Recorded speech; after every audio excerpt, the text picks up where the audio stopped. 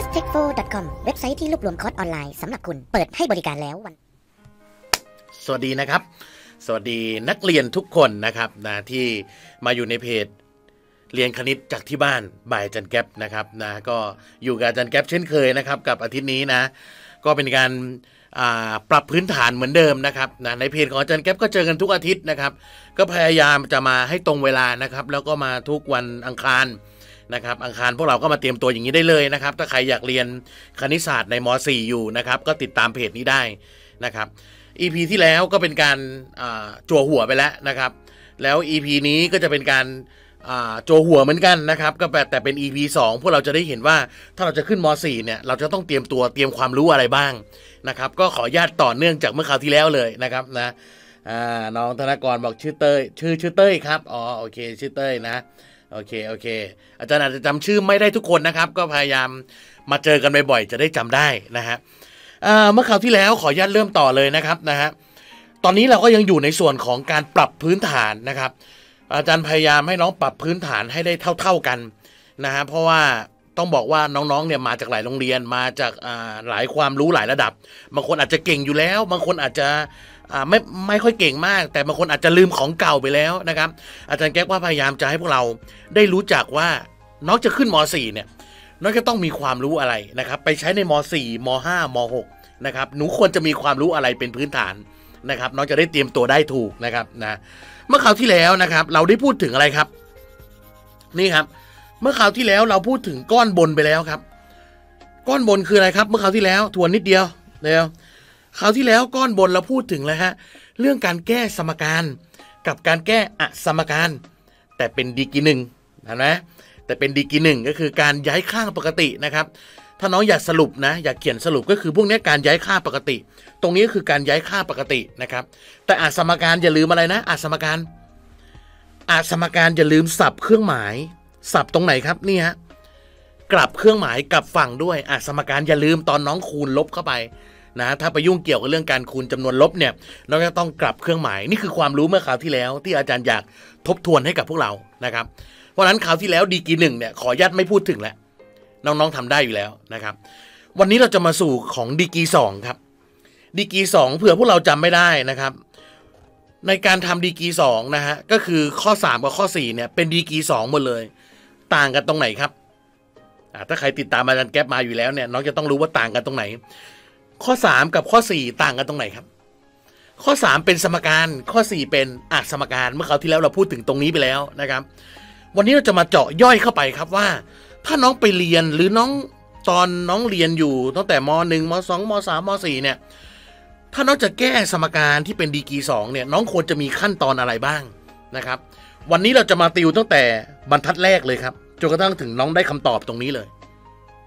นะ วันนี้เราจะมาทบทวนตรงนี้กันเนี่ยตั้งแต่บรรทัดแรก โจทย์ขึ้นมาบรรทัดแรกหนูควรทำอะไร แล้วถึงกระทั่งถึงคำตอบเลยนะครับนะวันนี้เราจะเข้าสู่กระบวนการตรงนี้กันนะครับอะมาถึงอันดับแรก แก้สมการ ถ้าเป็นสมการและเป็นดีกีสองเมื่อคราวที่แล้วพูดไปแล้ว น้องจะมานั่งย้ายข้าง ย้ายจากบวกไปลบ ย้ายจากลบมาบวก จากคูณไปหารจากหารไปคูณไม่ได้แล้วนะครับน้องจะย้ายข้างแบบนั้นไม่ได้แล้วเนี่ยจะทำแบบเนี้ยไม่ได้แล้ว นะครับสามจากบวกไปลบหนึ่งลบหนึ่งจากลบไปบวกอะไรห้าส่วนสามจากคูณไปหารอะไรว่าไปนะครับ เราทำแบบนั้นไม่ได้แล้ว เพราะอันนี้เป็นดีกีสองนะครับ อาจารย์เชื่อว่าน้องเรียนกันมาอยู่แล้วแหละนะครับ เรียนกันมาอยู่แล้ว ขั้นแรกที่น้องเจอโจทย์พวกนี้นะครับ ขั้นแรกนะที่จะสอนในวันนี้ก็คือหนึ่งคือการแยกตัวประกอบครับ เด็กๆ แยกตัวประกอบ แยกตัวประกอบนะฮะคำที่หนึ่งน้องต้องรู้จักคือการแยกตัวประกอบ ถ้าตอนน้องเรียนนะ่ะคุณครูจะพูดว่าอะไรฮะ แยกสองวงเล็บ แยกสองวงเล็บนะฮะน้องต้องแยกสองวงเล็บให้เป็นนะครับคำถามคือแยกไปทำไม พอน้องแยกสองวงเล็บเสร็จแล้ว น้องดูคร่าวๆกันนะ ถ้าใครงงน้องดูคร่าวๆกันนะขั้นหนึ่งที่น้องต้องเรียนให้เป็นวันนี้คือการแยกตัวประกอบ พอน้องแยกตัวประกอบเป็นแล้วมันจะมีสองวงเล็บคูณกัน วิธีการแบบบ้านๆก็คือ ให้น้องเอาแต่ละวงเล็บไปเท่ากับศูนย์เอาแต่ละวงเล็บไปเท่ากับศูนย์นะครับ มันก็จะง่ายแบบนี้เลยนะฮะเพราะนั้นขั้นตอนแรกในการน้องที่จะทำโจทย์แบบนี้ได้ แล้วน้องจะไปเรียนต่อได้เนี่ย น้องต้องแยกตัวประกอบเป็นนะครับ ต้องแยกให้เป็น ไม่เป็นวันนี้น้องต้องเป็นอ่าน้องสุนิสาสวัสดีครับ สวัสดีครับนะอ่าเพราะฉะนั้นวันนี้เราจะเรียนเรื่องการแยกตัวประกอบกันนะครับ เพราะฉะนั้นใครแยกไม่เป็น ต้องแยกให้เป็นนะครับ ตอนที่น้องเรียนมาแยกสองเล็บเนี่ยนะต้องแยกให้เป็นนะครับ เพราะฉะนั้นกระบวนการทำอ่าเล่าให้ฟังนิดนึงเพื่อใครเพิ่งเข้ามา กระบวนการทำโจทย์สไตล์เนี่ยนะครับหนึ่งคือมันจะมีโจทย์ นี่เดี๋ยวอาจารย์แก๊ปเขียนให้ดูหนึ่งคือมันจะมีโจทย์ นี่ลายมือนะครับนะฮะมีโจทย์ พอมีโจทย์เสร็จน้องต้องทำการแยกตัวประกอบ แยกตัวประกอบ หรือถ้าตอนที่น้องเรียนน่ะเขาจะเขียนว่าแยกสองวงเล็บ แยกสองวงเล็บนะครับ พอน้องแยกสองวงเล็บเสร็จนะครับ ให้น้องเอาแต่ละวงเล็บไปเท่ากับศูนย์นำไปเท่ากับศูนย์ถ้าเป็นสมการนะนำไปเท่ากับศูนย์แค่นั้นเอง เพราะฉะนั้นขั้นตอนหลักๆ ตอนที่น้องเรียนนะมันยากที่สุดคือตอนนี้ครับ การแยกตัวประกอบนะเพราะฉะนั้นวันนี้เรามาทบทวนกันว่าแยกตัวประกอบมันแยกยังไงนะฮะเพราะนั้นเดี๋ยววันนี้เรามาแยกตัวประกอบกันนะครับ นี่คือความรู้เก่าทั้งหมดเลยนะ ทุกคนอะเริ่มครับ เรามาแยกตัวประกอบกันนะครับ ใครมีหนังสือของอาจารย์อยู่เปิดหน้า 19 นะครับนะฮะชีตที่เป็นชีตอ่าชีตปรับพื้นฐานนะครับ หน้า 19 นะครับ แยกตัวประกอบ นี่นะ วันนี้นะ แยกตัวประกอบอ่าใครไม่มีชีตก็จดตามนะครับ หรือใครจะดูรอบแรกก่อนก็ได้นะครับ แยกตัวประกอบ แยกยังไงฮะแยกยังไง แยกไปทำไมในรู้แล้วนะ เราจะจับแต่ละวงเล็บไปเท่ากับศูนย์นะครับ แยกตัวประกอบแยกไปทำไม พอน้องเห็นเนี่ยมันจะมีทั้งหมดสามพจน์ตรงนี้นะครับ ตรงนี้เราจะเรียกว่าพจน์หน้า พจน์หน้า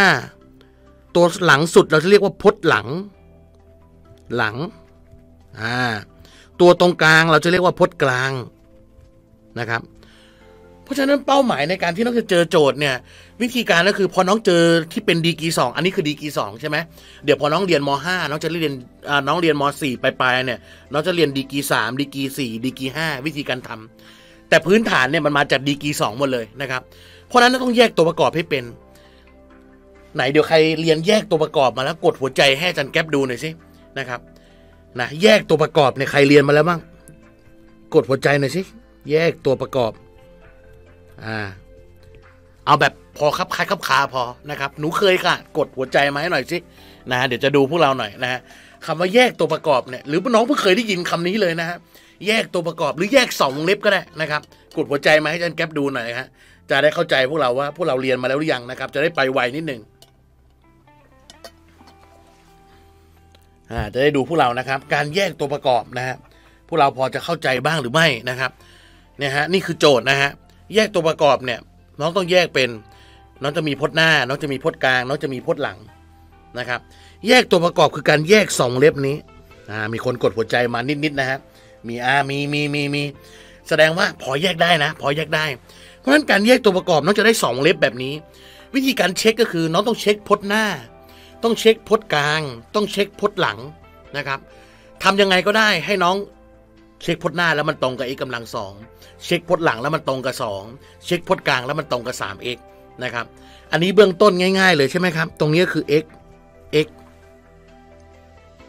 ผมบอกอาจารย์รู้ได้ไงอะ การเช็คพจน์หน้าให้น้องเอาตัวหน้าคูณตัวหน้า x คูณ x ได้ x กำลังสองถูกต้อง โอเคไหมการเช็คพจน์หลัง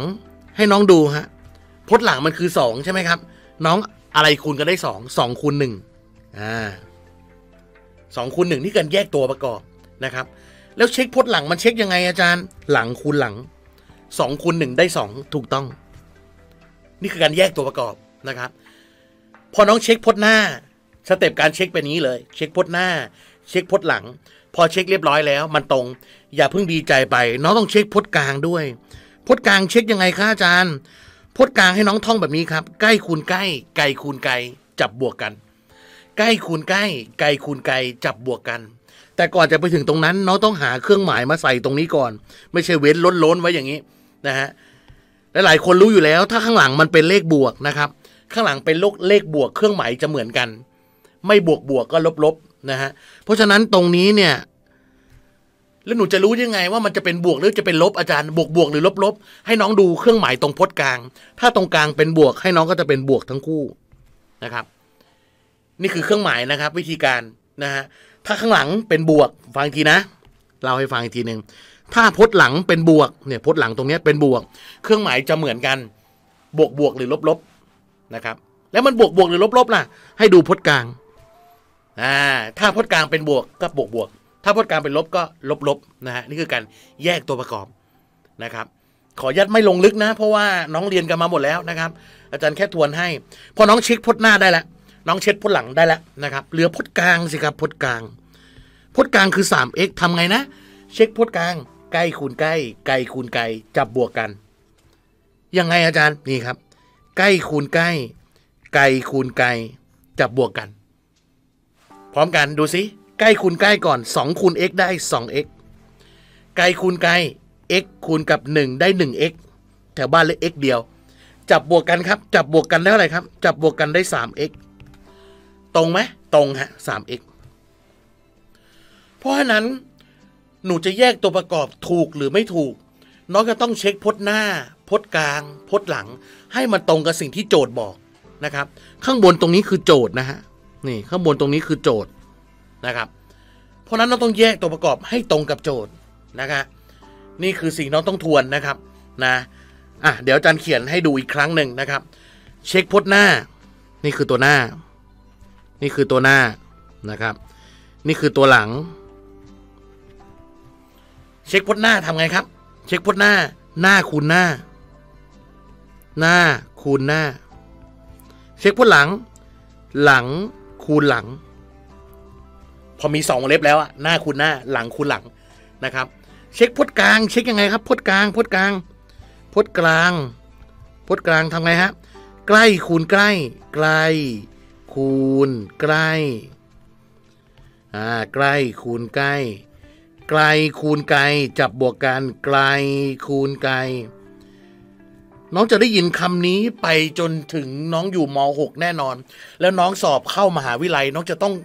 ท่องตรงนี้ให้แม่นนะฮะการเช็ควงเล็บ 2 คูณกันเนี่ยสองวงเล็บคูณกันเนี่ยน้องเช็คยังไง หน้าคูณหน้า เช็คพจน์หน้า หลังคูณหลัง เช็คพจน์หลัง ใกล้คูณใกล้ ไกลคูณไกล จับบวกกันเช็คพจน์กลางนะครับ เพราะนั้นมันจะมีหน้ากลางหลังตรงนี้ท่องให้ดีนะครับว่าพจน์เนี่ยมันมีอะไรบ้างนะครับ เครื่องหมายอะเครื่องเครื่องหมาย พอหนูได้สองวงเล็บแล้วเครื่องหมาย เครื่องหมาย เครื่องหมายถ้าตรงข้างหลังเป็นบวก ตรงนี้เป็นบวก เป็นบวก เครื่องหมายก็จะมีอะไรฮะบวกบวกบวกบวกแล้วก็ลบลบ ให้ดูที่พจน์กลางนะครับ แต่ถ้าเครื่องหมายข้างหลังเป็นลบอ่าเป็นลบ เดี๋ยวจะได้เจอเป็นลบ เป็นลบ อันนี้ทวนแล้วนะ น้องๆนี่ทวนแล้วนะ ถ้าเป็นลบ เครื่องหมายมันจะต่างกัน บวกลบหรือไม่ก็ลบบวกนะครับนะตรงนี้ไม่บวกลบก็ลบบวก ถ้าเป็นเครื่องหมายลบนะถ้าเป็นเครื่องหมายลบนะเพราะนั้นมันจะต่างกันนะครับ เครื่องหมายจะต่างกัน เพราะฉะนั้นในข้อนี้ทวนอีกครั้งหนึ่งน้องจะได้ x กับ x ใช่ไหมครับ น้องจะได้ 2 กับ 1 2กับ1เครื่องหมายเหมือนกันใส่บวกบวกเห็นไหมเครื่องหมายเหมือนกัน แล้วก็ตรงกลางเป็นบวกใส่บวกบวกแค่นั้นเองนะครับ ที่เหลือน้องก็เช็คหน้าคูณหน้าอ่าหน้าคูณหน้า ได้ไหมล่ะ x กำลังสองอะได้ได้มันได้ไหมได้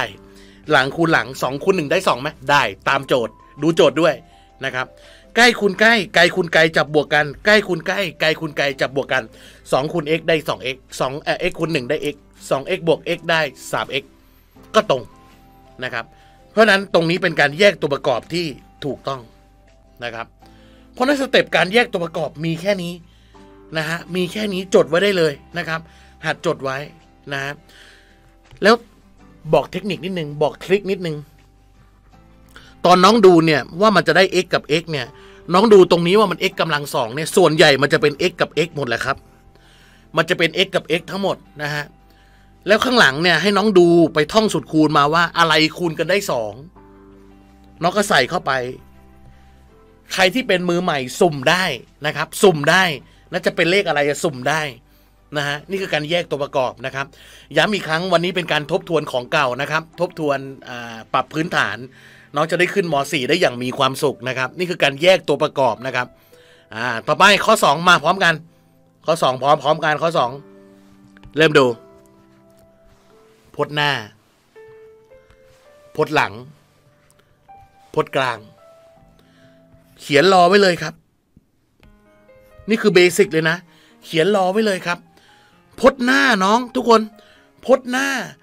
พจน์หน้ามันคือ x กำลังสองนะครับ แสดงว่ามันต้องเป็น x กับ x แน่นอนนี่แน่ ๆเลยนะครับ ต่อมาพจน์หลังพจน์หลัง อะไรคูณกันได้สอง สองกับหนึ่งแน่นอนสองกับหนึ่งแน่นอน ใส่รอไว้นะครับ แล้วไงต่อฮะเครื่องหมายครับ เครื่องหมาย เครื่องหมายฮะอ้าวอาจารย์แก๊ปแล้วหนูจะรู้ได้ไงว่าเครื่องหมายอะไร ทุกคนครับ เครื่องหมายแล้วก็ดูฮะพจน์หลังสุดเป็นเครื่องหมายอะไรครับ ตอบในใจฮะพจน์เครื่องหมายเป็นอะไรฮะเป็นเครื่องหมายลบ แสดงว่ามันไม่บวกลบ ก็ลบ บวก แน่นอนนะครับคอมันเป็นเครื่องหมายต่างกันเนี่ย มันไม่บวกลบก็ลบบวกแน่นอนครับ แล้วไงต่ออาจารย์แก๊ปทุกคนดูทริคตรงนี้นิดนึงพอน้องได้ว่าเครื่องหมายต่างกันเนี่ย ปัญหาเกิดแล้ว น้องไม่รู้ว่ามันเป็นบวกลบ หรือมันเป็นลบบวก วิธีการหนึ่งที่ใช้บ่อยๆก็คือ ลองสุ่มเข้าไป ลองสุ่มเข้าไปก่อนนะครับ สุ่มยังไงอาจารย์แก๊ปอ่าน้องลองใส่ตรงนี้เป็นบวก ตรงนี้เป็นลบ น้องลองเช็คพจน์กลางดูสิว่ามันได้ลบ x ไหมเช็คสิเช็คพจน์กลางซิว่ามันได้ลบ x ไหมวิธีการเช็คเช็คยังไงนะใกลคูณใกลไกลคูณไกลจับบวกกันใกลคูณใกลไกลคูณไกลจับบวกกันนะจำได้ไหมใกลคูณใกลไกลคูณไกลจับบวกกันอะลองสิลองสิใกลคูณใกล้สอง x อะสองกับ x คูณกันได้สอง x ดูเครื่องหมายด้วยนะสองเป็นบวก x เป็นบวก คูณกันต้องได้บวกนะฮะไกลคูณไกล x คูณหนึ่งได้ x จับบวกกันใกล้คูณใกล้ไกลคูณไกลจับบวกกันจะได้ไหมจับบวกกัน 2x บวก x เป็น 3x ตรงไหมฮะทุกคน ตรงไหมพอใครเห็นแบบนี้แล้วเนี่ย น้องอย่าลืมคิดเลขผิดนะ อาจารย์แก๊ปยังผิดเลยนะ นี่ครับ x คูณกับลบหนึ่งได้ลบ x ทุกคน เออ x คูณกับลบหนึ่งได้ลบ x ดูเครื่องหมายด้วยอาจารย์แก๊ปยังผิดเลยไหมอ่า x คูณกับอ่า x คูณกับลบหนึ่งได้ลบ x นะ แล้วน้องก็ค่อยเอาบวกกันนะครับ 2x บวกกับลบ x ได้เท่าไหร่ฮะ 2x บวกกับลบ x ก็คือ 2 บวกลบ1อะ มันก็ต้องได้ x เพราะนั้นใครคิดเลขยังไม่แม่นเห็นไหมได้ x ถูกไหม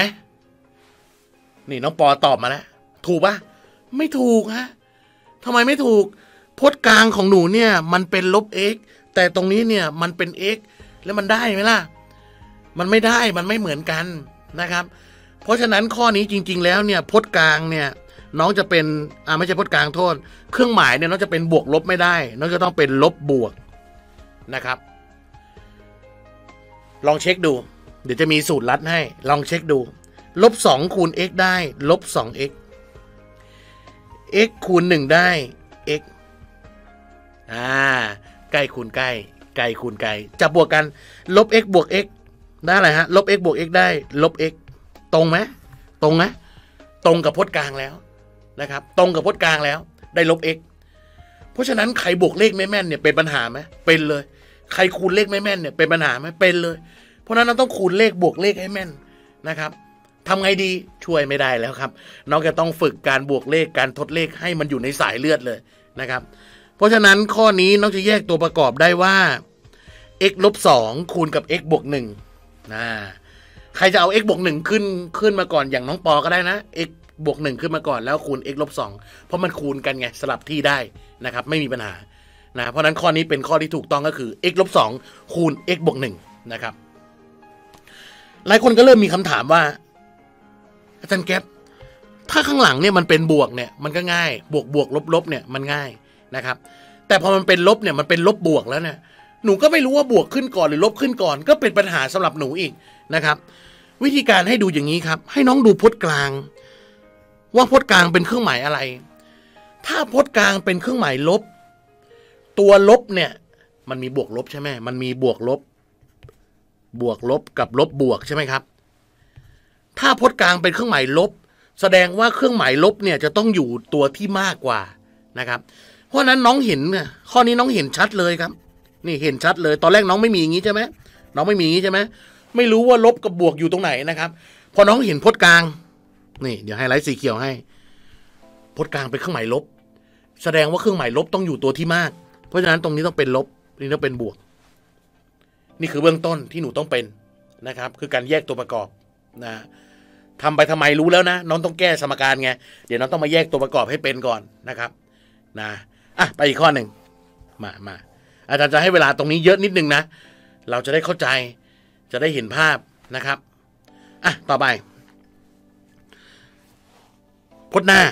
x กำลังสอง พจน์กลาง x พจน์หลัง ลบหก เหมือนเดิมครับ เหมือนเดิม ใครตอบมาได้ตอบเลยนะ ตอบมาเลยนะ อ่า น้องนัท สวัสดีครับผม สวัสดีนะครับ อ่า หนูงงทำไมสิ่งที่ดีๆ เขาไม่ดูกันอ่าโอ้มันมันไม่สนุกเด้ มันไม่เหมือนซีรีส์เด้หนูหนูมันไม่เหมือนซีรีส์นะคะเห็นไหมอันนี้มันคณิตศาสตร์นะครับอ่าหลายๆ คนก็บอกทำไมเขาไม่รู้ว่ามันดีอะคนจะรู้ว่ามันดีก็ต่อเมื่อมันสำคัญแล้วนะครับนะมันจะดีก็ต่อเมื่อน้องจะสอบแล้วนะครับนะมันจะดีก็ต่อเมื่อน้องจะทำมันเป็นแล้วนะคนก็ไม่รู้แต่เรารู้ไม่เป็นไรนะครับ เราเรียนของเราไปนะครับ เยี่ยมมากนะ ใครที่ดูต่อสู้ไปครับนะต่อไป x กำลังสองบวก x ลบหกนะครับ แน่นอนพจน์หน้า x กับ x เหมือนเดิมนะครับ ต่อมาครับ น้องก็ต้องดูว่าพจน์หลังเนี่ยอะไรคูณกันได้หกนะครับ ประเด็นของคำว่าอะไรคูณกันได้หกเนี่ยมันมีทั้งหกคูณหนึ่งอะเดี๋ยวเขียนให้ มันมีทั้งหกคูณหนึ่งแล้วก็สามคูณสองได้หกนะครับวิธีการง่ายที่สุดเลยนะครับ ถ้าใครยังไม่เป็นนะ ลองใส่มาทั้งสองตัวเนี่ยหกหนึ่งมั่ง ลองใส่ไปสามสองมั่งลองไปนะครับ ไม่มีผิดหรอกนะลองลองลองไปนะครับ วิธีการของอาจารย์ก็คือ ให้น้องดูตัวนี้ครับ x เนี่ยมันมีแค่หนึ่งแสดงว่าน้องต้องใส่ตัวเลขที่มันมีผลต่างกันเป็นหนึ่งครับ เพราะนั้นตรงนี้น้องต้องใส่เลขสามกับเลขสองนี่คือเซตเลยที่น้องจะต้องรู้ว่าแยกตัวประกอบได้อะไรนะครับ ใครทำบ่อยๆจะรู้เองนะครับ แยกตัวประกอบได้สามกับสองนะครับ แล้วไงต่ออาจารย์ พอตรงนี้เป็นลบพจน์หลังนะฮะทุกคนดูพจน์หลังครับ เครื่องหมาย เครื่องหมายเป็นลบแสดงว่าต้องใส่บวกลบแน่นอน อ่า ต้องใส่บวกลบหรือไม่ก็ลบบวกแน่ แล้วทำไงอะดูเครื่องหมายตรงกลาง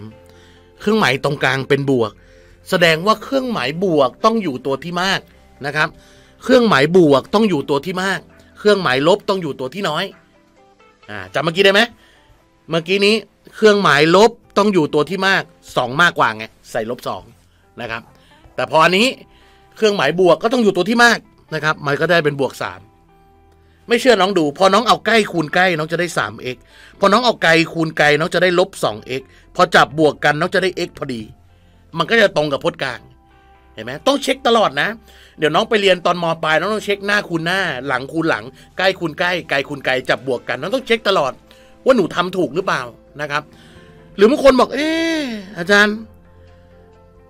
ไหนลองหกกันหนึ่งให้หนูดูเลยสิเออเมื่อกี้ใช้สามสองไปแล้ว ลองหกกันหนึ่งให้หนูดูหน่อยที่อ่าลองหกกับหนึ่งเอาแบบผิดๆมั่งอาจารย์แก๊ปบอกเสมอถ้าใครอยากเก่งเนี่ยต้องเรียนแบบผิดๆไปด้วยนะครับ จะได้จำแม่นๆหกกับหนึ่งลองสิเออหกกับหนึ่งมันก็คูณกันได้หกเหมือนกันนะเห็นไหมหลังคูณหลังได้หกหน้าคูณหน้าได้กำลังสองได้เหมือนกันนะครับ แต่พอน้องเช็คพจน์กลาง เครื่องหมายบวกต้องอยู่ตัวที่มาก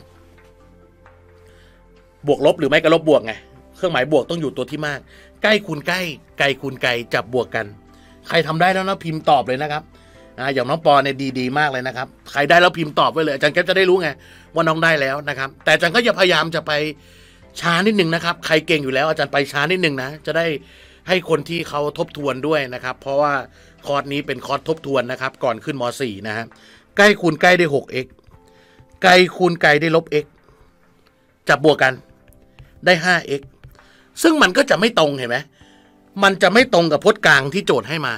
นะครับ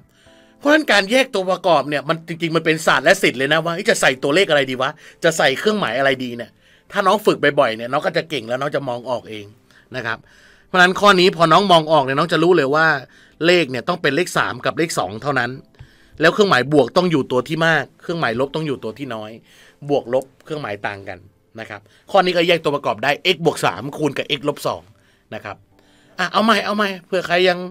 สงสัยว่า เอ้ย พอเริ่มได้แล้ววะมาเลยมามาบางคนเริ่มเครื่องจะร้อนนะครับอะอันนี้เป็นตัวแปร x ก็อย่าตกใจเหมือนเดิม พอน้องเห็นดีกีสองเนี่ยกำลังสองเนี่ย น้องต้องแยกตัวประกอบให้เป็นนะครับ A กับ A แน่นอน พอเปลี่ยนตัวแปรก็อย่าไปกลัวครับนะ เดี๋ยวน้องเรียนมปลายน้องเจอตัวแปรเยอะกว่านี้นะฮะนี่ A ก็ A กับ A นะครับ ต่อมาครับ ต่อมาสิบสองเออสิบสองโอ้สิบสองนี่มีเยอะเลยสิบสองคูณหนึ่งอะไรอีกสี่คูณสามอะไรอีกหกคูณสองเฮ้ยแล้วหนูจะเลือกใส่ตัวไหนดีอะน้องต้องมองข้ามช็อตแล้วนะครับ คณิตศาสตร์สอนให้น้องมองข้ามช็อตไปนะครับ น้องดูตรงนี้ครับ เครื่องหมายตรงนี้เป็นลบ แสดงว่าเครื่องหมายตรงไอ้ที่น้องจะแยกตัวประกอบเนี่ยมันต้องต่างกันแน่นะครับ มันต้องต่างกันนะฮะแล้วน้องดูฮะ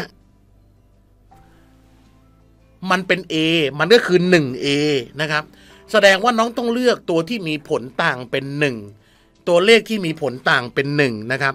เราจะไม่เอาอันนี้ เราจะไม่เอาอันนี้ เราจะเอาตรงกลางก็คือ4คูณ3ผลต่างมันจะเป็น 1 นะครับ อ่าอ่าพอดีเลยค่ะ หนูชอบเรียนแล้วรู้สึกคืนครูไปหมดเลยค่ะนะครูไปด้วยนะคะนะปิดเทอมครูเอาคืนไปด้วยนะคะนะไม่เป็นไรเดี๋ยวทบทวนได้นะครับเดี๋ยวทบทวนได้เดี๋ยวในคอร์สติวม .4 จริงๆเนี่ยนะครับอาจารย์ก็มีทบทวนให้อีกนะครับ อาจารย์ก็ไม่ไปเร็วหรอกนะฮะอ่าตรงนี้ถึงไหนแล้วเนี่ย เราจะไม่เลือก 12 กับ 1 เพราะมันใกล้คูณใกล้ไกลคูณไกลยังไงมันก็ไม่ได้เอหรอกนะฮะหนูไปลองดู 6 กับ 2 มันก็ไม่ได้นะฮะ ต้องเป็น 4 กับ 3 แน่ แล้วเครื่องหมายที่มากต้องเป็นเครื่องหมายบวก แสดงตรงนี้เป็น 4 เป็น 3 ไม่เชื่อคูณดู ใกล้คูณใกล้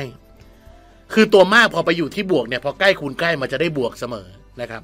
ไกลคูณไกลอะไรอะลบ 3a นะครับ จับบวกกัน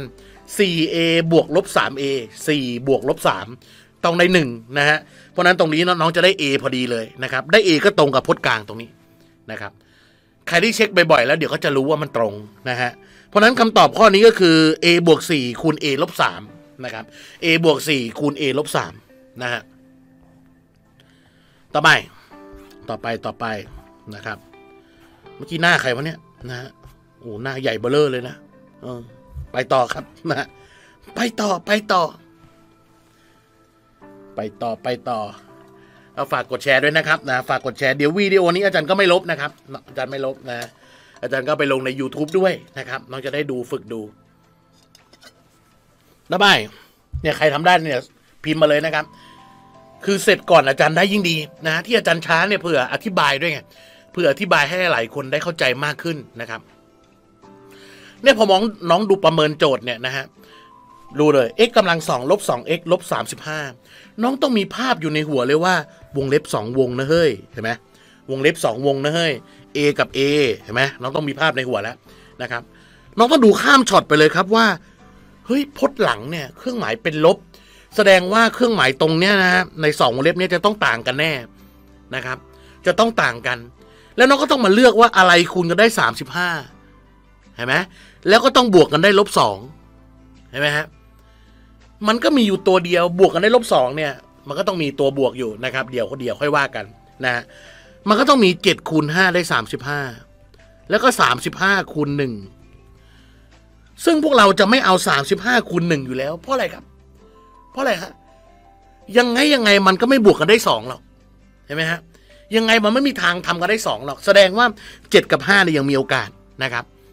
ต่อมาครับต่อต่อมา แล้วเลขเจ็ดเลขห้าหนูจะไปใส่ตรงไหนล่ะ เออ เราก็ต้องไปดูเครื่องหมายตรงกลางครับ เป็นเครื่องหมายลบ แสดงว่าตัวลบต้องเป็นตัวที่มากนะครับ เพราะฉะนั้นข้อนี้เลขเจ็ดจะไปอยู่ตรงลบเจ็ดตรงนี้ครับ เครื่องหมายลบต้องไปอยู่ตัวที่มากนะครับ ใครจะเลือกใส่เครื่องหมายก่อนเครื่องหมายหลังก็แล้วแต่นะครับ ได้หมดนะน้องก็ใส่ห้าตรงนี้นะครับแล้วตอนนั้นจะวิเคราะห์นะครับ ขอให้คำตอบสุดท้ายตรงกับอาจารย์ วงเล็บจะสลับกันก็ไม่เป็นไรนะครับ ในทางคณิตศาสตร์มันคูณกันนะทุกคน เนี่ยวงเล็บสองวงนี้มันคูณกัน มันก็เลยสลับที่กันได้นะครับ นะ โอเค อ่า มีคนตอบแล้ว a ลบเจ็ดคูณ a บวกห้าใช่เลยนะครับ อ่า a บวกเจ็ดคูณ a ลบห้าไม่ใช่นะ นะ น้องนิต้าไม่ใช่นะ เครื่องหมายสลับกันนะฮะ ถ้าน้องใส่บวกตรงนี้ น้องใส่ลบตรงนี้นะครับ พจน์กลางของน้องเนี่ยจะกลายเป็นบวกสองทันที มันจะไม่ตรงกับที่โจทย์ เห็นไหมอ่า นี่มันต้องได้เป็น a บวกห้าคูณ a ลบเจ็ดนะครับ ตัวมากต้องไปเป็นเครื่องหมายลบ นะฮะตัวมากต้องไปเป็นเครื่องหมายลบนะครับ โอเค เดี๋ยวทบทวนได้ทบทวนได้ไม่เป็นไร ต่อไปนะใครไม่ทันแคปไว้นะแคปแคปไว้หรือไปดูย้อนหลังก็ได้นะครับ ต่อไป b กำลังสองบวกแปด b บวกสิบหกเริ่มนี่น้องต้องมองข้ามช็อตแล้ว b กับ b มองข้ามช็อตตรงไหนต่อนี่ครับจำได้ปะถ้าเครื่องหมายหลังสุดเป็นบวก แสดงว่าเครื่องหมายต้องบวกกัน ไม่ใช่ต้องบวกกัน ต้องเหมือนกัน ไม่บวกบวกก็ลบลบนะครับน้องก็ต้องไปดูพจน์กลางต่อเฮ้ยพจน์กลางเป็นบวก แสดงว่าเครื่องหมายตรงเนี้ยต้องเป็นบวกบวก พอจำได้ไหมพอเห็นภาพไหมนะครับ เราจะได้พอเห็นภาพมากขึ้นนะครับว่าเครื่องหมายเนี่ยมันจะเป็นยังไงนะครับ เพราะฉะนั้นตอนในวันที่น้องทำโจทย์เนี่ยมันมีทั้งบวกบวกมีทั้งลบลบมีทั้งบวกลบ มีทั้งลบ บวก เครื่องหมายตรงกลางตรงนี้นะ ที่อาจารย์พูดถึงเนี่ยนะครับ มันมีตั้งหลายแบบแบบไหนล่ะ ต้องให้เป็นนะครับ ต้องให้เป็นนะต่อไป ต่อมาครับ เราก็ต้องดูแล้ว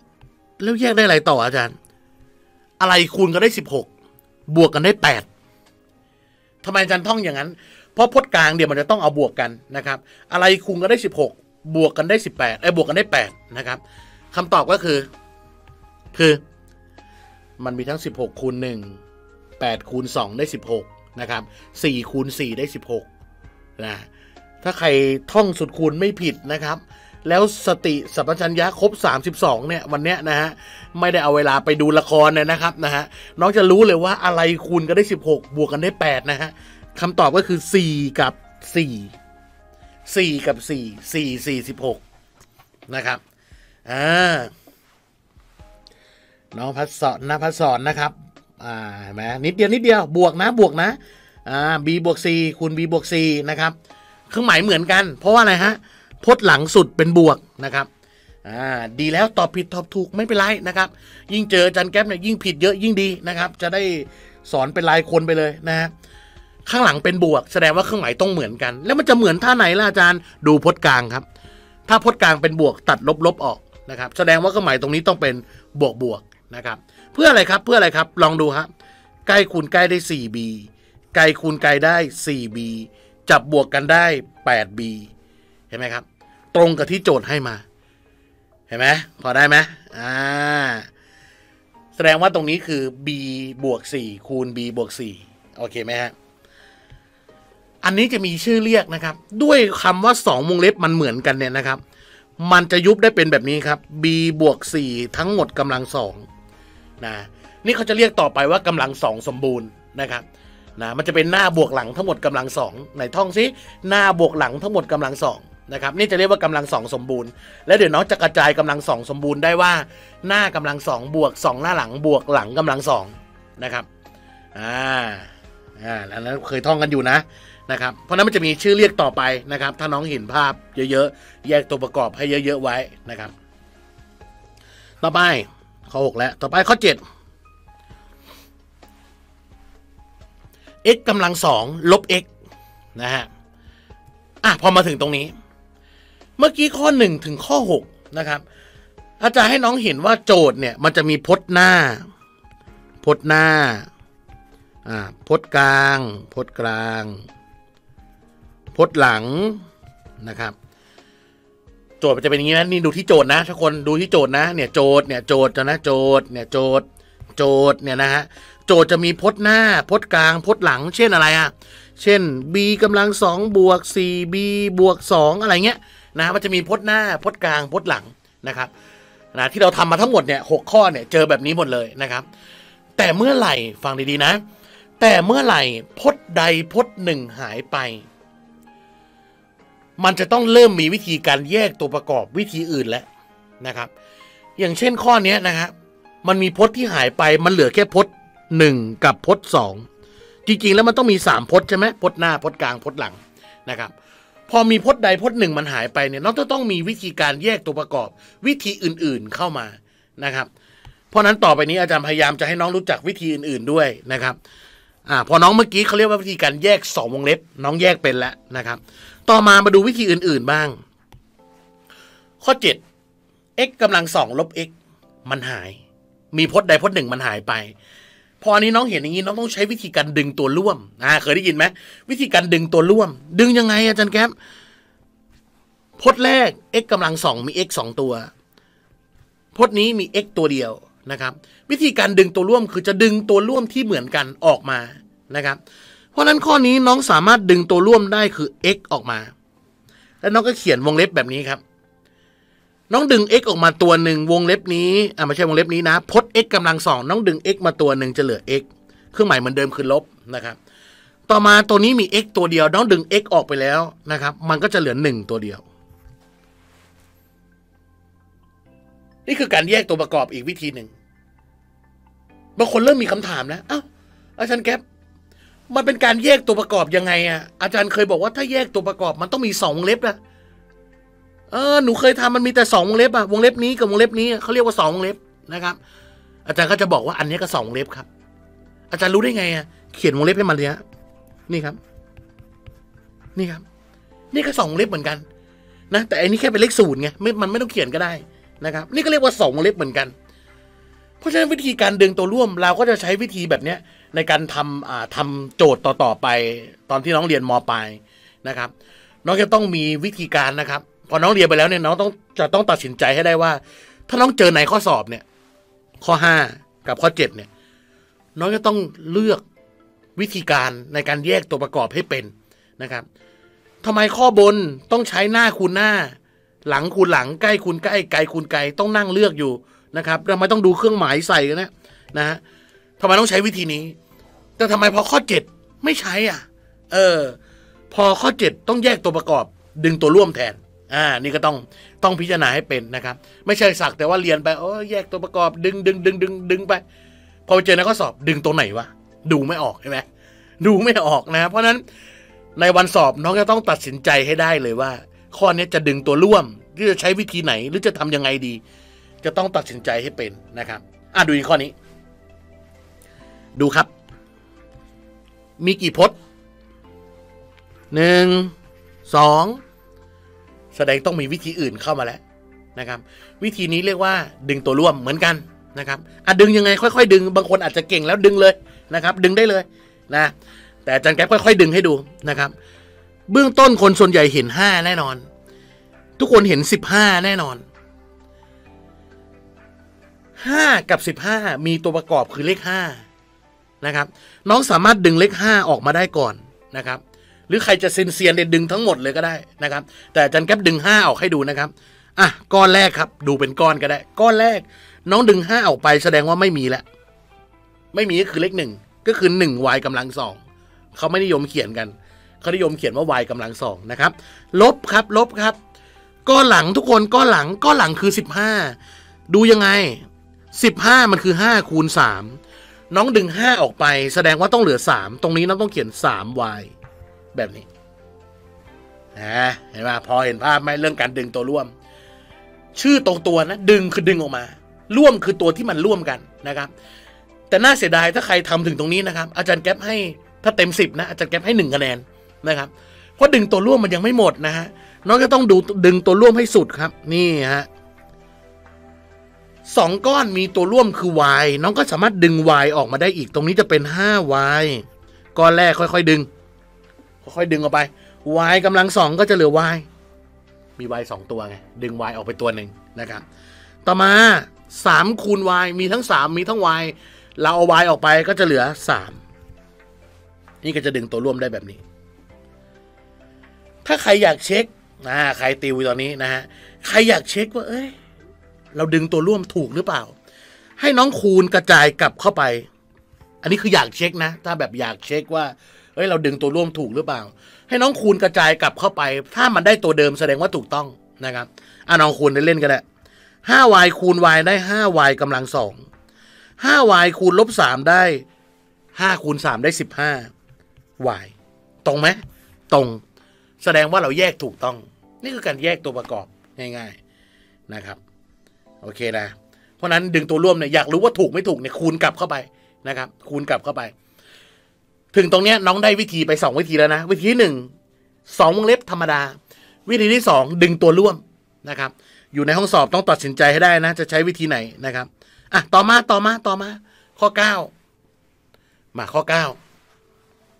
ข้อเก้าครับสามพจน์เหมือนเดิมครับสามพจน์เหมือนเดิมทุกคนทำไง อย่ารอ แยกสองเล็บ ขียนรอเลย พจน์หน้ามี x กับ x คูณ x อ่าเดี๋ยวต่อไปทุกคนอาจจะไปเจอ 2x ด้วยนะ 2x กำลังสองอ่าจะไปเจอ 3x กำลังสองอันนี้คือในโอกาสต่อไปนะครับ แต่ตอนนี้เอาแบบง่าย ๆ ก่อนที่โจทย์ที่เป็น x กำลังสองแบบเนี้ย อาจารย์เชื่อว่าน้องเรียนในห้องเรียนมาอยู่แล้วนะครับ x กำลังสองลบ 4x ลบ 45 นะครับ อันดับแรก x กับ x เรียบร้อยนะ หน้าคูณหน้าได้แน่นอน อันนี้ไม่ต้องกลัวนะฮะต่อไปครับพจน์หลัง เครื่องหมายพจน์หลังเป็นลบ แสดงว่าต้องเป็นเครื่องหมายต่างกัน บวกกับลบแน่นอน ต้องเป็นเครื่องหมายต่างกัน ต่อมาครับ อะไรคูณกันได้45แล้วมันบวกกันได้4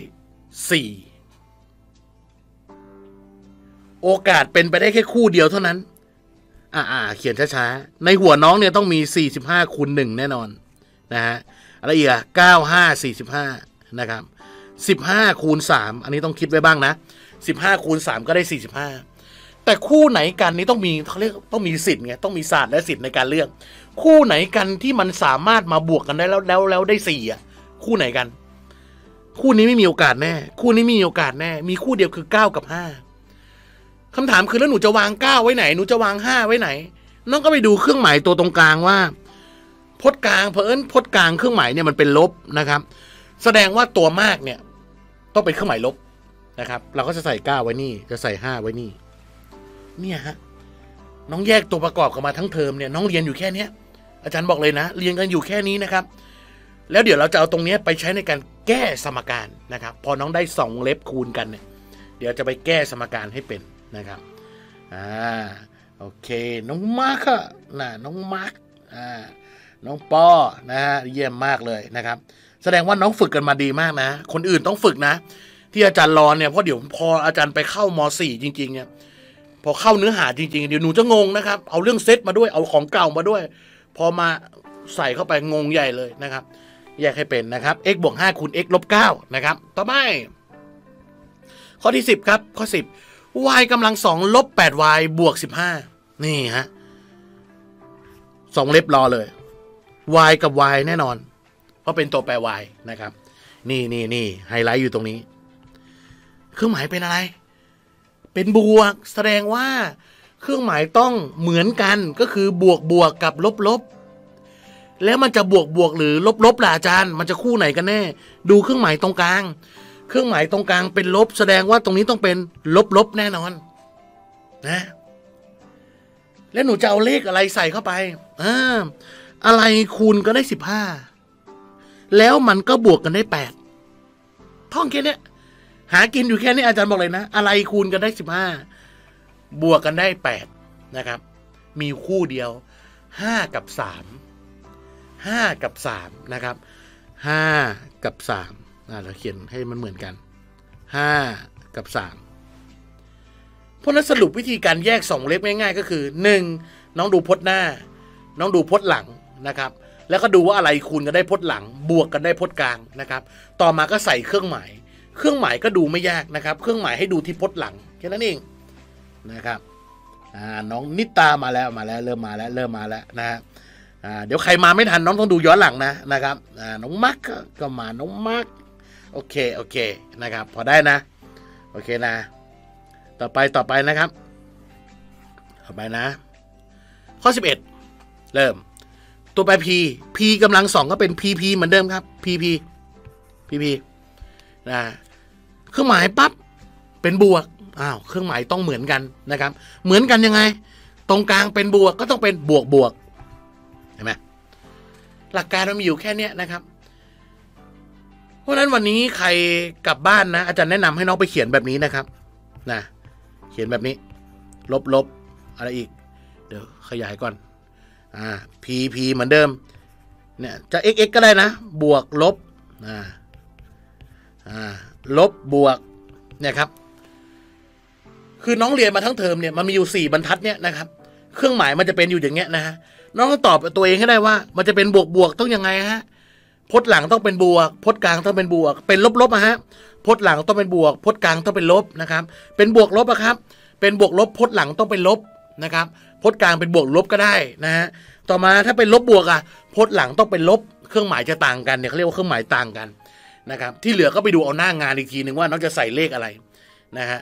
เนี่ยอาจารย์แก๊ปให้ไว้แนวคิดอย่างเงี้ยนะครับ ถ้าน้องสรุปรวมได้แบบนี้นะ แล้วทำแบบนี้ได้ทุกเรื่องนะครับ คณิตศาสตร์ไม่หนีไปไหนแน่คะแนนตอนที่น้องสอบอะนะฮะอะตรงนี้ครับ หลายคนตอบมาแล้วเนี่ยนะฮะแต่อาจารย์ขอยัดช้าๆแล้วกัน พี่พี่พี่พี่ บวกบวกนะครับ บวกบวกอะไรคูณกันได้ยี่สิบเจ็ดบวกกันได้สิบสองคู่ไหนเก้าคูณสามได้ยี่สิบเจ็ดอ่าเก้าคูณสามได้ยี่สิบเจ็ดบวกกันได้สิบสองเก้าสามจบแค่นั้นเองนะฮะมีแค่นี้แยกตัวประกอบนะครับ อีกสักข้อหนึ่งนะนะอีกสักข้อหนึ่งนะนะนะนะนะอีกสักข้อหนึ่งสิบสองครับสิบสองสิบสอง b กำลังสามบวกเก้า b กำลังสองบวกยี่สิบ b เท่ากับเท่าไหร่ อ่า มาครับบางคนเริ่มเห็นแล้ว เอ๊บางคนเริ่มสังเกต คือถ้าใครเรียนคณิตศาสตร์ แล้วต้องชอบสังเกตนะ ต้องหัดสังเกตนะครับ นะ นี่ฮะ มันเป็นกำลังสามอาจารย์ เออ แล้วหนูไม่เคยเรียนกำลังสามหนูเคยเรียนแต่กำลังสอง แต่ครับ น้องยังไม่ต้องรีบไปเรียนมสี่นะ ถ้ากำลังสามเลยหนูจะได้เรียนตอนมสี่แต่ข้อนี้ไม่ต้องใช้ความรู้ขนาดนั้นครับ เอาความรู้หลายอันมารวมกัน น้องเคยดึงตัวร่วมไหมล่ะ น้องเห็นสามพจน์ที่อาจารย์ขีดเส้นใต้สีแดงไหมมันมีตัวร่วมคือ B เราสามารถดึง B ออกมาได้ก่อนครับ อะ ทุกคนน้องลองดึง B ออกมา พอทุกคนดึง B ออกมาเนี่ยมันมีสามก้อนครับ ก้อนแรกครับ B กำลังสามน้องดึง B ออกมาตัวหนึ่งมันก็เหลือ B กำลังสองดึงเนี่ยต้องดึงให้แม่นนะครับ ว่าเราดึงอะไรนะฮะต่อมาพจน์ที่สองครับ มันคือ 9B กำลังสองน้องดึง B ออกไปตัวหนึ่งแล้ว มันก็ต้องเป็น 9B อ่าเห็นไหมต่อมาบวก 20b น้องดึง b ออกไปตัวหนึ่งแล้ว มันก็ต้องเหลือแค่20 ตัวหนึ่งแค่นี้ นี่คือการเอาความรู้เมื่อกี้มาใช้ทันไหมดึงตัวร่วมสำคัญมากนะดึงตัวร่วมนะครับ ดึงทำไมอ่าต้องดูดึงทำไมอะทุกคนครับ พอทุกคนดึงเสร็จแล้วเกิดอะไรขึ้นครับ เกิดอะไรขึ้น ในก้อนที่อาจารย์ขีดเส้นใต้ยึกยึกสีแดงเนี่ย มันคือรูปแบบกำลังสองแล้ว น้องสามารถเขียน B ตรงนี้รอไว้ แล้วไอ้ตัวที่น้องขีดยึกๆไอที่อาจารย์ขีดยึกๆสีแดงให้ดูเนี่ย มันสามารถเป็นแยกเป็นสองวงเล็บได้ นี่คือที่เราเรียนมาทั้งตั้งแต่ ตั้งแต่ช่วงทุ่มหนึ่งเนี่ยเรียนมาเนี่ยคือต้องได้วงเล็บนี้ นะครับ แค่เพิ่ม B ตรงนี้เข้ามาเอง ไม่แปลกเห็นไหมแค่เพิ่มเพิ่ม B เข้ามานะเพราะนั้นในกรอบสีเหลืองอะสีเหมือนกันอีกนี่ สีเขียวตรงนี้ครับนกก็แยกตามปกติใช้ความรู้เดิมเป็นอะไรครับ B กับ B ต่อมา เครื่องหมายพจน์หลังสุดเป็นบวก แสดงว่าเครื่องหมายต้องเหมือนกันไม่บวกบวกก็ลบลบตรงกลางเป็นบวก แสดงว่าต้องเป็นบวกบวก เห็นไหม อะไรคูณกันได้ยี่สิบบวกกันได้เก้ามีอยู่คู่เดียวห้ากับสี่ห้าคูณกันได้ยี่สิบห้าคูณสี่ได้ยี่สิบบวกกันได้เก้าแสดงว่าตรงนี้จะต้องเป็นห้ากับสี่จบแล้ว นี่เขาเรียกว่าการแยกตัวประกอบนะครับ เพราะนั้นอาจารย์อยากพูดคำว่าแยกตัวประกอบก็คือ การทำตัวเลขให้อยู่ในรูปการคูณกันนะครับเขาเรียกว่าการแยกตัวประกอบ เช่น อาจารย์ยกตัวอย่างแล้วกัน ตอนที่น้องเรียนมาเนี่ย น้องเคยแยกตัวประกอบ 12ไหมครับอ่า12 แยกตัวประกอบได้เป็นอะไรครับ4คูณ3สมัยก่อนนะที่ที่น้องเรียนนะแยกตัวประกอบ 12 แยกเป็น4คูณ3นะครับ4ก็แยกเป็น2คูณ2แล้วคูณ3นะฮะเพราะนั้นไอเดียของการแยกตัวประกอบเนี่ยคือการทำให้ตัวเลขอยู่ในรูปการคูณกัน เพราะนั้นพอน้องเรียนมาสักมปลายในในระดับหนึ่งเนี่ยการคูณกันจะเปลี่ยนเป็นวงเล็บใช่ไหมครับมันก็จะกลายเป็นแบบนี้ครับ สามวงเล็บคูณกันแบบนี้นะฮะนี่ก็เรียกว่าการแยกตัวประกอบนะครับพอน้องเรียนมาสักพักน้องก็จะแยกตัวประกอบเป็นรูปตัวแปรแล้วนะครับ ก็ต้องแยกให้เป็นนะนี่คือไอเดียของการแยกตัวประกอบเลยนะครับ อยากให้น้องๆเป็นไว้นะครับ การแยกตัวประกอบนะครับนะอะต่อไป ต่อไป มามามาทุกคน ไม่เป็นก็ต้องเป็นนะวันนี้นะครับ b กำลังสองบวกสาม b ลบสี่สิบเริ่ม มีกี่พจน์มีกี่พจน์มีสามพจน์อ่าแยกได้สองวงเล็บ b b ใส่รอไว้เลย b b ต่อมาฮะ ต่อมา เครื่องหมาย เครื่องหมายพจน์หลังสุดเป็นลบ แสดงว่าเครื่องหมายต้องต่างกันก็คือไม่บวกลบ ก็ลบบวกแหละประมาณนี้นะฮะต่อมาดูข้ามช็อตไปต่อ ดูข้ามช็อตไปต่อ ดูอะไรครับ เครื่องหมายตรงกลางเป็นบวก แสดงว่าเลขตัวที่มากเนี่ยต้องเป็นตัวที่บวกอยู่ตรงนี้ นี่เลขตัวมากต้องอยู่ที่เครื่องหมายบวกตรงนี้นะครับ แล้วหนูจะใส่เลขอะไรล่ะอ่าใครทำทันตอบเลยนะ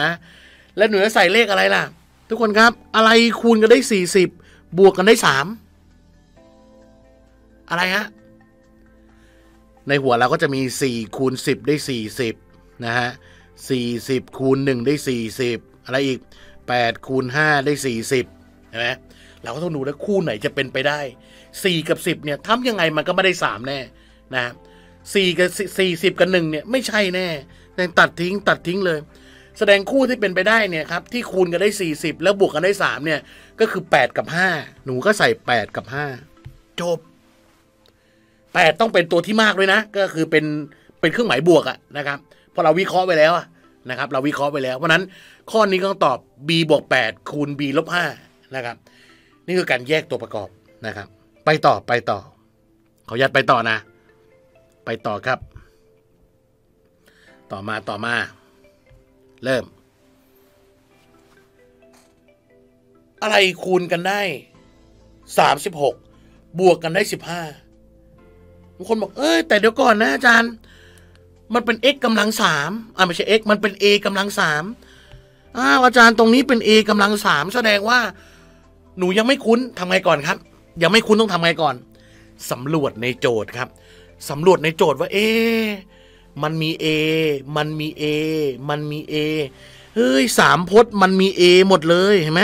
สามพจน์มันมี A หมดเลย เพราะฉะนั้นน้องสามารถดึง A ออกมาได้ครับ ดึง A ออกมา ดึงมาก่อน เพราะว่าในชีวิตเราเนี่ยตั้งแต่เราเรียนมาเนี่ยเราไม่เคยแยกตัวประกอบกำลังสามเลย เราเคยแต่กำลังสองใช่ไหมเพราะนั้นข้อนี้มันมีสามารถดึงได้ เราดึงก่อนนะครับ A ดึงออกมา ใครดึงตัวร่วมไม่แม่นต้องดึงให้แม่นแล้วนะ a กำลังสามดึง a ออกมาตัวนึงก็จะกลายเป็น a กำลังสองนะครับ ต่อมาสิบห้า a กำลังสองเอ๊ แล้วหนูจะดึงอะไรออกมา ก็ดึง a ออกไปแล้วไงนะครับ มันก็ต้องเหลือสิบห้า a อ่า นี่คือตัวที่สองนะกำลังพูดอยู่ก้อนสองนะ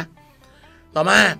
สามสิบหก a เราก็ดึง a ออกมาตัวนึง ดึงไปแล้วข้างหน้านี้ ดึงดึงเราดึงไปเรียบร้อยแล้ว ก็จะเหลือสามสิบหกใช่ไหมครับ ตรงนี้ A ออกมาพักไว้นิ่งๆแล้ว ไม่ต้องไปยุ่งกับมันแล้วนะฮะ แต่ตัวที่ต้องยุ่งกับมันคือยังไม่จบไง มันยังไม่จบนะฮะ ตัวนี้ครับ A กำลังสองลบสิบห้า A บวกสามสิบหกก็ต้องมาเริ่มคิดแล้ว เริ่มฮะ แยกวงเล็บอ่า A ตรงนี้ดึงมานะเล่นๆไว้ดึงไว้ รอไว้ ตัวที่อาจันขีดเส้นใต้ A กำลังสองน้องต้องแยกเป็น A A อ่าบางคนเริ่มได้แล้วนะอ่าบางคนเริ่มมีคนตอบมาแล้วนะเห็นไหมเริ่มเริ่มเริ่มพอจะได้แล้วนะครับ ต่อมาครับ อะไรคูณกันได้สามสิบหกบวกกันได้สิบห้าเออก่อนตรงนั้นเดี๋ยวนิดนึง เครื่องหมายก่อนเครื่องหมายก่อน เครื่องหมายพจน์หลังสุดเป็นบวก อาจารย์เขียนบรรทัดนี้ดีกว่า เครื่องหมายพจน์หลังสุดเป็นบวก แสดงว่าเครื่องหมายต้องเหมือนกัน เหมือนกันแล้วมันบวกบวกหรือลบลบล่ะอาจารย์ ดูเครื่องหมายตรงกลางครับพจน์กลางเป็นลบแสดงว่าต้องเป็นลบลบนะฮะเพราะนั้นตรงนี้เป็นลบลบเราก็ต้องมานั่งคิดกับอาจารย์แล้ว แล้วอะไรคูณกันได้สามสิบหกบวกกันได้สิบห้าถ้าใครไม่แม่นก็ต้องไล่ก่อนเลยครับ อะไรคูณกันได้สามสิบหกไล่ก่อนเลยสามสิบหกคูณหนึ่งคือเรื่องนี้ต้องท่องสุดคูณให้แม่น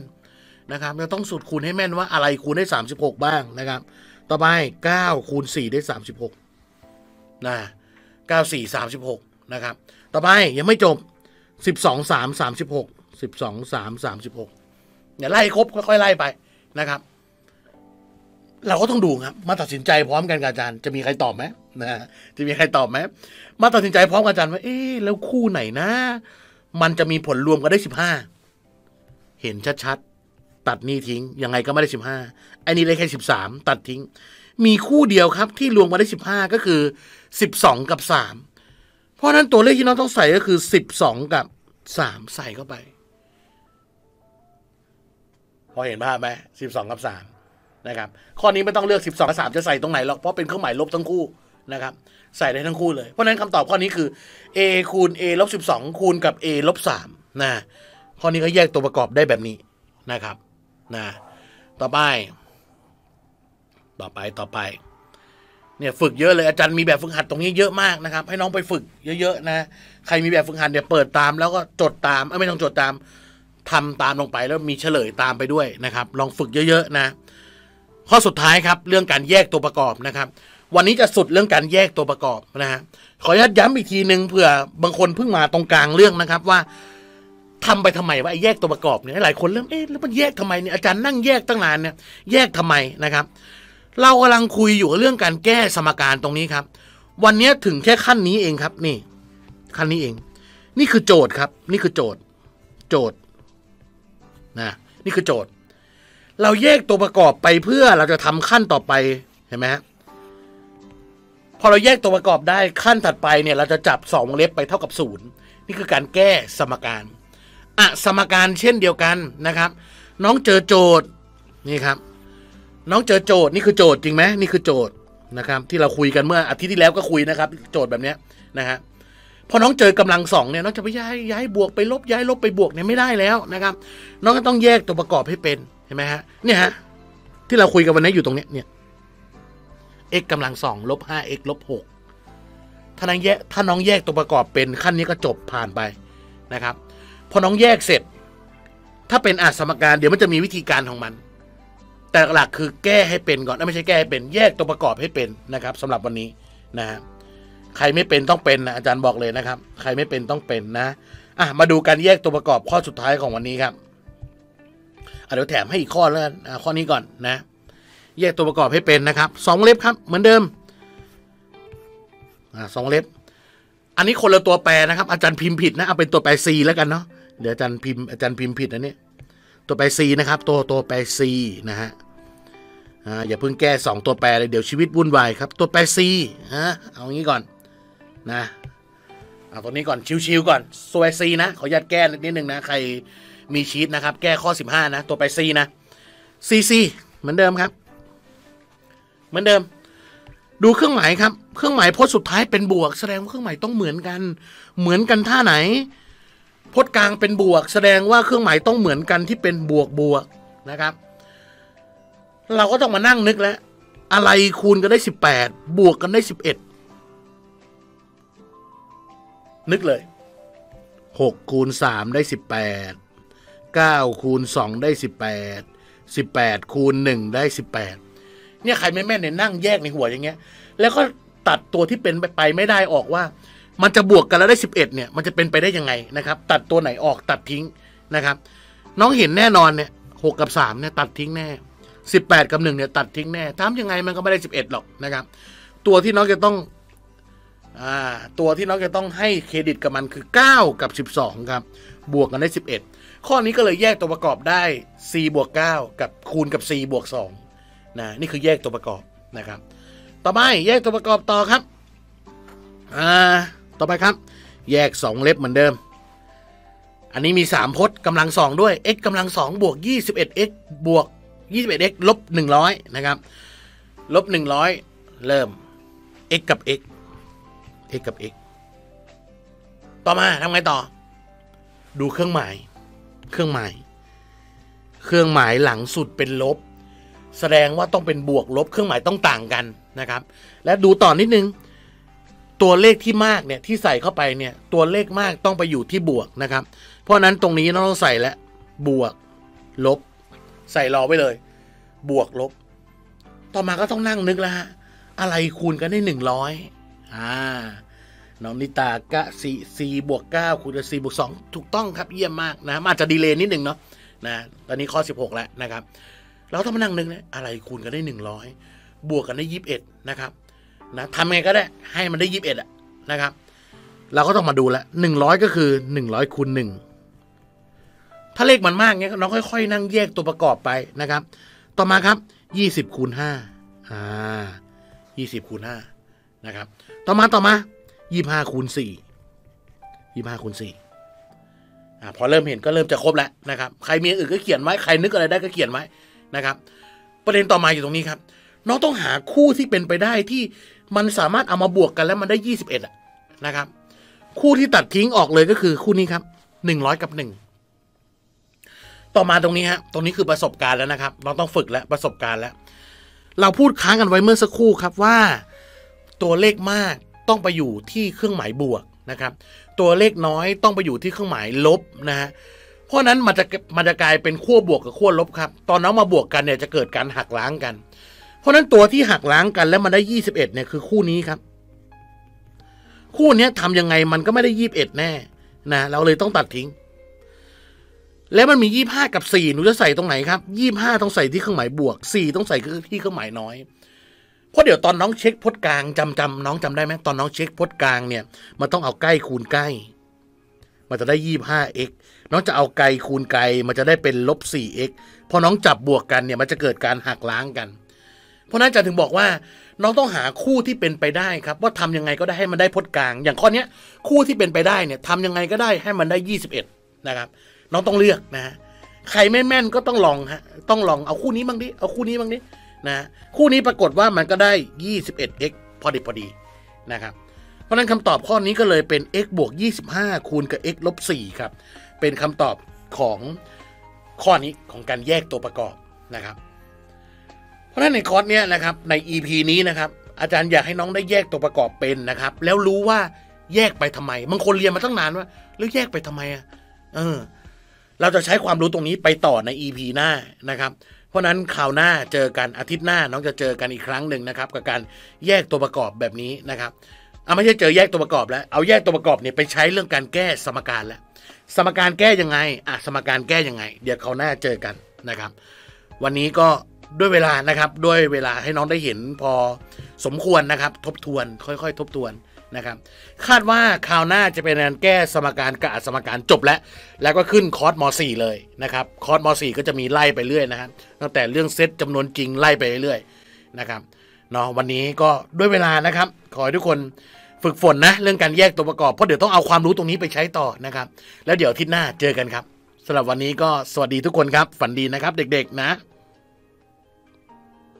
ท่านคงปฏิเสธไม่ได้ใช่ไหมครับว่า การบรรยายครั้งนี้นั้นมีประโยชน์ ขอฝากท่านส่งต่อความสำเร็จ โดยการกดแชร์ กดไลค์ กดติดตามคลิปนี้ เพื่อทำให้เป็นการให้ที่ไม่มีที่สิ้นสุด และติดตามอาจารย์แก๊ปได้ในโอกาสต่อไปครับ สวัสดีครับ